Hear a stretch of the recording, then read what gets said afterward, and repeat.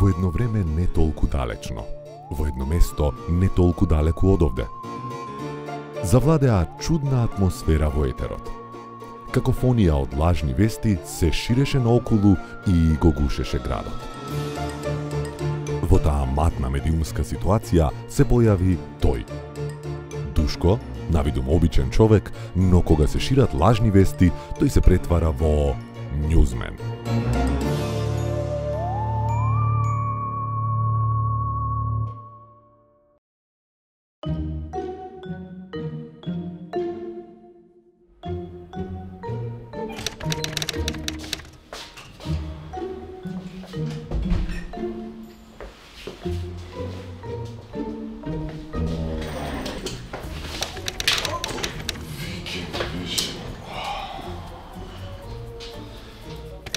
Добро утро и на тебе, колега.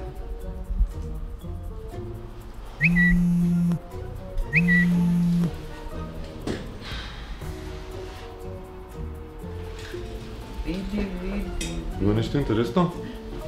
Еј, ньюзмен растура. Пола медиуми не знаат каде да се скријат. Ньюзмен. Тоа ми звучи како супер херој. Мора да е некој нов кој тој. Кај има веќе на супер херој? И па, ньюзмен и за мене е суперхерој. 12 лажни вести на тапет во еден ден. Не имам бегање од него. И плюс никој не знае кој и од каде е. Освен јас. Еј, ти, седи, ма, од кај па ти знаеш кој? Зашто ми има пратено нешто да споделам со јавност. Е, што ти пратил? Устав за вести. Највисокиот законник за правилно разбирање на вестите. М? Браво, браво, нов клинец, нови правила. Дрско, дрско, бога ми. Браво, новко. И што има да каже овој твој супер херој? Слушај сега. Член 1. Презумција за вистинитост. Од кај ми е познато ова? Ниту една вести информација не е вистинита се додека самите не го докажете тоа. Веќе секој има пристап до интернет. Просурфајте и веста ги си го покаже своето вистинско лице. Каже своето вистинско лице.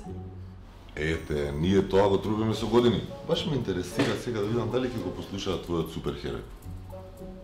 Член 2? Член 2. Информациите може да ви штетат на здравието. Внимавајте колку внесувате и од каде им е потеклото. Тие често содржат адитиви и конзерванси како на пример лажни, скриени вести, пропаганди, манипулации, дезинформации и спинови и се со цел за да го измамат вашиот вкус. Еф, ми се гади од лажни вести. Член 3. Не ја загадувајте вашата животна средина. Не споделувајте се што ќе видите на интернет, туку селектирајте. Загадените вести се како загадениот воздух, брзо се шират и тешко се контролираат. Еј, замисли да имаше маски за лажни вести. Си ја ставаш маската и си седнуваш на нет да си читаш вести. Немаш маски веснешки, ама затоа имаш мозок. Подобра маска здравје. Член 4. Два пати мери, еднаш верувај. Анализирај ја секоја вест. Истражи Истражија и провери ги условите во кои ја настанат. Тргни од насловот и поднасловот и уште на почеток види кој е авторот и кои се изворите. Тоа значи да бидеш Шерлок Холмс. Секоја вест нова истрага. Детектив Снешка. Ти стои бога ми. Ха-ха. Член 5. Во дигиталниот свет сите се еднакви. Имаат еднакви права, можности, но и одговорности. Се што јавно го кажуваме мора да биде подкрепено со факти и веродостојни извори, не да се повикуваме на видов на нет или кажаа на вести. Е, ова знаеш на што ме подсеќа? Е, знаеш, прочитав на Ти реков ми рече. Е, баш така Снешке. А, пишува уште?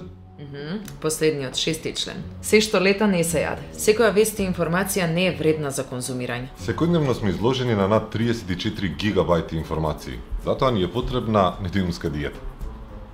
Значи нема веќе лапни голтни, па што ти сервирале тоа да си сркаш. Ако сме веќе ке сркање, што викаш денес да сркнеме по едно кафе? Јас би испил сега и дупла доза фейк вести, ако ме веруваш. Добро, бе, што се љутиш? Многу си осетлива на темава. Поголем новко од новко си станал. А, ньюзмен. Се едно, ајде да идеме. Оди нарачај кафе ќе дојдам. Ајде.